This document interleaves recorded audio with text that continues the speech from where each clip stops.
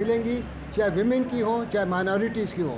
सुन्नी इतिहाद council ने कोई seat नहीं जीती जो इंडिपेंडेंट उनको शामिल के हुए हैं वो भी क्या कहते हैं सुन्नी इतिहाद में आए मगर सुन्नी इतिहाद की तो अपनी कोई लिस्ट ही नहीं थी।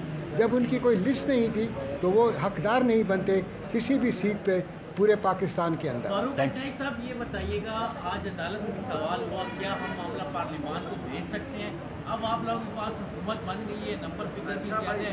इलेक्शन एक्ट में तरमीम क्यों नहीं ले आते कि ये मसला जो है बिल्कुल ही ख़त्म हो देख। देखें जो 2017 में जो एक्ट बना इलेक्शन एक्ट उसके अंदर तमाम पॉलिटिकल पार्टीज़ ने पार्टिसिपेट किया था पीटीआई ने भी पार्टिसिपेट किया था Pakistan peoples party Pakistan Muslim लू नी नून और जे आई जे यू एफ़ और बाकी पॉलिटिकल पार्टीज़ ने भी किया था उसके बाद ये एक्ट बना अगर लेजिस्लेचर ने या पार्लियामान ने ये चीज़ नहीं रखी कि अगर कोई पार्टी कंटेस्ट नहीं करती है कोई लिस्ट नहीं देती है तो उसकी वजूहत है।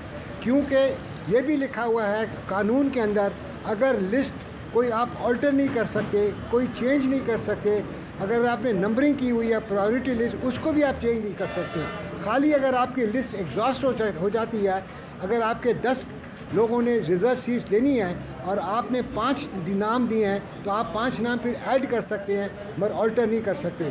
तो इस पार्लियामान ने इस कानून बनाने के ऊपर मैं समझता हूँ, अपनी विजडम दिखाई है और लेजिस्लेचर की विजडम को चैलेंज नहीं कर सकते। जहाँ तक फैसले का ताल्लुक है, मैं समझता हूँ, पिशावर हाई कोर्ट को जो पिटिशन है उसके ऊपर फैसला करना पड़ेगा। खाली क्या कहते हैं पार्लियामान को रेफ़र करने से मसला हल नहीं होगा। इसमें मैं ऐड कर दूँ एक बात आपको। एक बात होल्ड ऑन इसके सवाल को। बात यह है कि आपने कहा कि अभी केस को रेफ़र कर दिया जाए। तो ये स्टेज नहीं है रेफ़र करने की।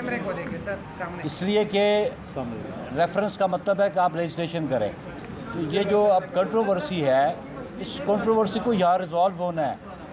हम किसी प्रोविंस को अनरिप्रेजेंटेड नहीं रहना चाहते कि कानून ये नहीं चाहता आइन नहीं चाहता कि प्रोविंसेस की रिप्रेजेंटेशन होनी चाहिए पार्लियामेंट में और प्रोविंशियल असम्बलीज़ में चाहे वो मिनॉरिटीज़ की सीट हो रिज़र्व सीट्स हो। सेकेंडली अभी सेनेट के इलेक्शन होने वाले हैं। कल भी इस्लामाबाद में आ, सेनेट की जो वैकेंसी हुई है कल उसका इलेक्शन है। उसमें हम समझते थे कि ये जो रेस्ट्रेंट ऑर्डर पास किया है उसकी वजह से चंद लोगों को वो वोट भी कास्ट कर सकें इसी तरह बलूचिस्तान में भी कल और सिंध में भी कल सेनेट की जो वैकेंट सीट्स हैं वहाँ पे इलेक्शंस हैं। तो हम चाहते हैं कि ये आ, जल्दी डिस्पोजल हो इसकी इसका फैसला हो ताकि लोग अपना जो राइट ऑफ़ वोट है वो एक्सरसाइज कर सकें। देखिए एक मिनट यो मिनट देखिए इसमें एक एक मिनट। बिस्मिल्लाह देखिए इसमें सेंटर में आ जाए प्लीज़ आप सेंटर में सर डोंट माइंड बिस्मिल्लाह देखें आज इसमें बहुत इंपॉर्टेंट बात यह है कि जो सुन्नी इतिहाद कौंसिल के जो दो वकला हैं वो आज पेश ही नहीं हुए। बाबा रवान साहब को कहा गया कि आधे घंटे में आ रहे हैं नहीं आ सके। अली जफ़र साहब के वकील या उसके जो मैसेंजर है उसने गलत मैसेजिंग की क्योंकि उन्होंने कहा कि वो अडियाला जेल चले गए अडियाला जेल की मुलाकातें जो हमें सुनने में है, दो हफ़्ते के लिए बंद हैं। तो अगर अदालत में इस किस्म की गलत बयानी की कर रहे हैं जिन्होंने यहाँ पर केस को जो है रिप्रेजेंट करना है वो यहाँ आए ही वो गैर संजीदा है। उनको पता है कि उनका केस बहुत कमज़ोर है। इसलिए उनके वकला आज नहीं आए।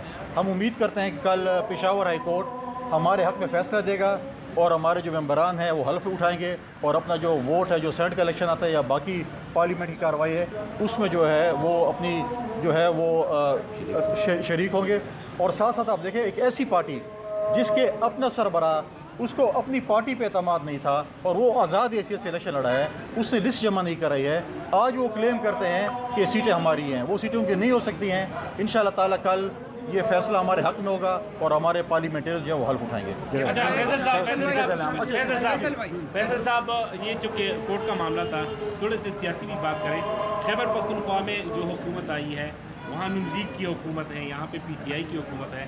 तो सुबह के का मामला जो है कुछ अजीब सा लग रहा है। तो आप भी सुबह से ताल्लुक़ रखते हैं पीपल पार्टी इसी जो सीनियर रहनुमा है या पीपल पार्टी इस नून लीग और पीटीआई के दरमियान सुबह के हकूक़ के हवाले से अपना किरदार अदा कर सकती है या करेगी? देखें देखें बिल्कुल मरकज़ में जो है पी एम एल एन और उसी इत्यादी जमातों की हुकूमत है। सूबे में सुन्नी इतिहाद कौंसिल की जो है वो हुकूमत है। मैं समझता हूँ कि हमारा सूबा आपका और हमारा सूबा जो है ये बहुत मसाइल का शिकार है। तन, पैसे देने की तनख्वाहें नहीं तनख्वाह के लिए पैसे नहीं हैं। तरक्याती काम है। आपने फॉर्मर फाटा के साथ सौ अरब का वादा किया कि हम सालाना खर्च करेंगे।